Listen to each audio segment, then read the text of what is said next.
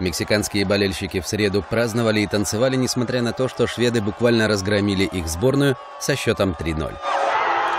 Радость вызвал не этот матч, а сенсационный проигрыш сборной Германии южнокорейцам со счетом 0-2. Из-за этого действующий чемпион мира оказался на четвертом месте в группе F и выбыл с чемпионата. Та же участь постигла и Южную Корею.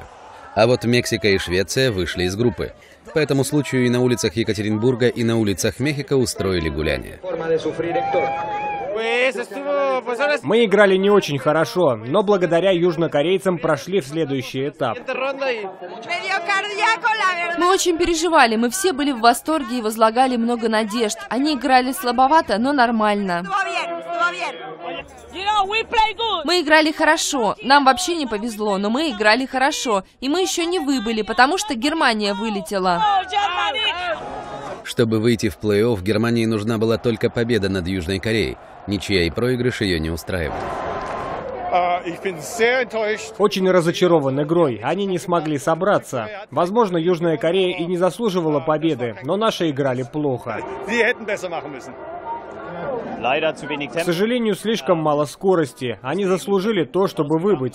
Из-за этого все три игры были плохие. Грустно. А в Москве у стадиона «Спартак» победу праздновали бразильцы. Их сборная обошла Сербию со счетом 2-0 и вышла из своей группы с первого места. Наконец-то Бразилия играла хорошо. По крайней мере, в этот раз. Мы очень счастливы. Мы играли хорошо и выиграли со счетом 2-0. Из группы И также вышла Швейцария. В среду она сыграла с Коста-Рикой со счетом 2-2.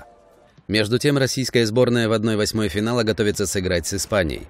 Матч пройдет 1 июля на Лужниках.